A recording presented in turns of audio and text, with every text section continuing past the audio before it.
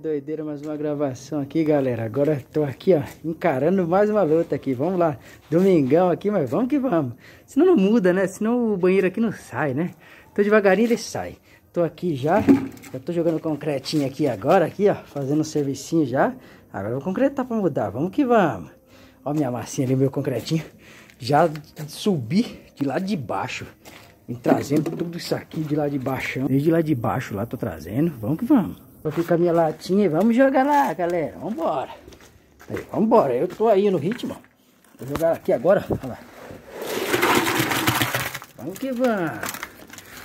Encher essa sapata aí. Vamos que vamos. Já joguei mais um pouco. Vencendo, galera. Tô vencendo. Bem, pessoal, tô aqui juntando a massa agora. Sapata concluída, pessoal. Porque obra, é, a piscina sem banheiro não dá, não. Piscina aqui, banheiro lá.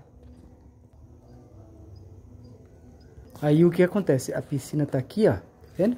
Piscina aqui, mas assim, as pessoas precisam usar o banheiro, né? Sem banheiro não dá, né? Então o que acontece é o seguinte, tem que fazer o banheirinho aqui. Já tô formando aqui as coluninhas, tá vendo? Devagarinho, aí vou enchendo no meu tempo, quando dá o tempo eu vou fazendo. Aqui já tá a primeira, já tá a segunda, já tá a terceira aqui, ó.